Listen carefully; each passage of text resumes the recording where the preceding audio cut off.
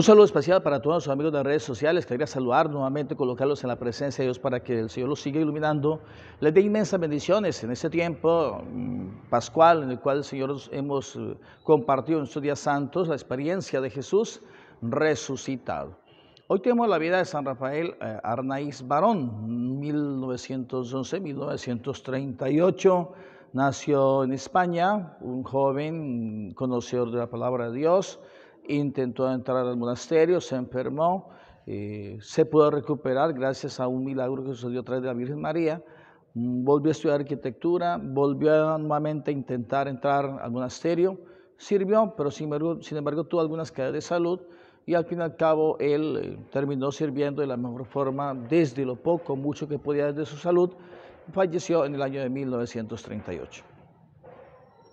Hoy continuamos con la librería de los Hechos de los Apóstoles. Hoy estamos hablando sobre la conformación de la primera iglesia cristiana en aquella época o iglesia del camino. Y en ese momento ellos comienzan a sentir ya esa entrega total de sentirse todos como hermanos y todo lo ponen en común. Nadie pasaba necesidad. En otras palabras, se sentía el calor humano de hermanos, donde todos eh, se apoyaban los unos con los otros. Sin embargo, el Evangelio también le muestra a Nicodemo el Señor. Dice, nadie nace eh, de la gracia de Dios si tú no crees.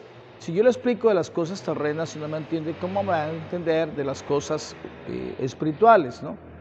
Eso para darle a explicar a Nicodemo que tocaba nacer del Espíritu para nacer ante la presencia de Dios. No, no necesitaba volver a nacer, sino volver a retomar la gracia de Dios a través de lo que el bautizo y hacerse presente de corazón ante el Señor haciendo las cosas bien.